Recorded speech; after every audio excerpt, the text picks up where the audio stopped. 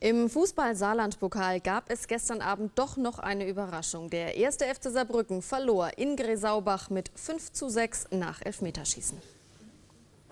Erst der letzte Elfmeter brachte die Entscheidung.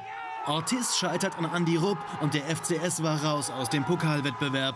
Die Gresaubacher im Überschwang der Gefühle. Unterdessen belagerten vor dem Stadion Saarbrücker Anhänger den Mannschaftsbus. Spieler und Trainer mussten eskortiert werden. Die Attacken der sogenannten Fans an der Grenze des Zumutbaren. Bis wo muss die Sache naja gehen in der Aggression? Man hat ja auch gesehen, was die letzte Zeit passiert ist. Ob das im Gymnasium in Deutschland ist, bald kommt einer mit dem Revolver in der Kabine und schießt und alles um. Also das, das kann nicht so weitergehen. Da muss man aufpassen. Das sind Jungs von, von, von Saarbrücken, da muss man nicht vergessen.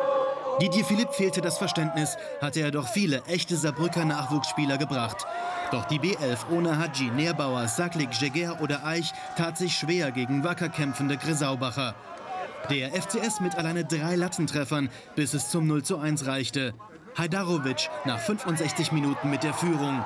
Und man mochte denken, jetzt geht alles seinen gewohnten Gang. Doch im Gegenteil, der Verbandsligist mit dem Rücken zur Wand, aber dem Blick Richtung FCS-Tor. Und dann konnte Hajdarovic nur noch mit der Hand retten.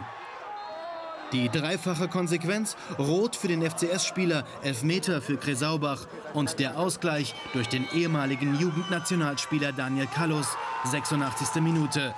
Der FCS wurde abgestraft, vielleicht auch, weil er ohne Stammkräfte kam. Dann haben wir unsere Jungs, wo alle von Saarbrücken kommen. Das muss man auch nicht vergessen. Das ist eine Nachwuchsarbeit. äh, Die müssen auch mal die Chance bekommen. Ich würde das äh, genau wieder das so selber machen, mit derselben Aufstellung. Das ist nicht das Thema.